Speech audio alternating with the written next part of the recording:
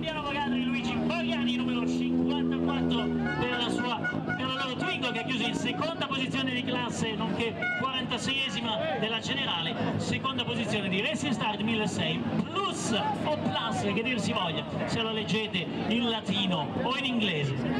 L'importante è la sostanza, la coppa di secondi di classe, Avogadri Bariani!